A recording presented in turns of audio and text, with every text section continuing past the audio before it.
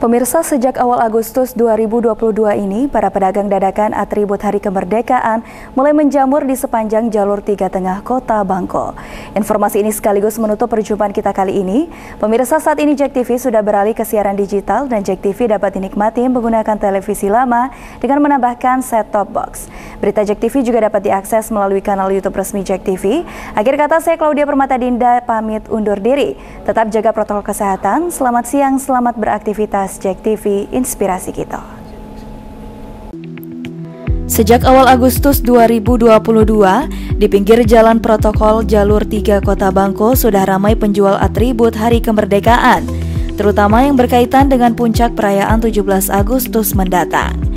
Namun menurut pedagang, penjualan jauh menurun jika dibandingkan dengan tahun sebelumnya, di mana tahun lalu saat awal Agustus minimal mereka sudah bisa mengembalikan modal, namun saat ini sudah di tanggal 11 Agustus 2022 dan bendera yang mereka jual masih banyak, bahkan penurunan omset mereka mencapai 50%. Walau masih sepi, pedagang berharap di waktu-waktu dekat menjelang puncak perayaan, yakni 17 Agustus 2022 mendatang.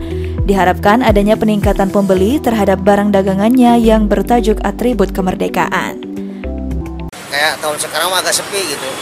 Kalau tahun-tahun kemarin bagus penjualannya. Nah kadang kan tahun ke depan mah kadang dapat sehari ada satu juta itu ada dua juta. Sekarang paling pendapatan 500, 600 Ya tentu lah. Pokoknya bagusan tahun kemarin. Jadi setiap tahunnya, tiap tahun sekali gitu berangkat ke sini. Oh rame di dari tanggal 10 ke sana. Dari paling mahal paling dua setengah.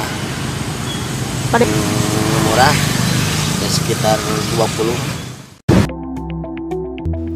Atribut kemerdekaan yang dijual pedagang dadakan tersebut berupa umbul-umbul, bendera merah putih, dan berbagai atribut kemerdekaan lainnya. Dan tidak hanya itu, di sepanjang komplek perkantoran juga sudah diwarnai dengan berbagai aneka atribut kemerdekaan. Riko Saputra, Jack TV, melaporkan.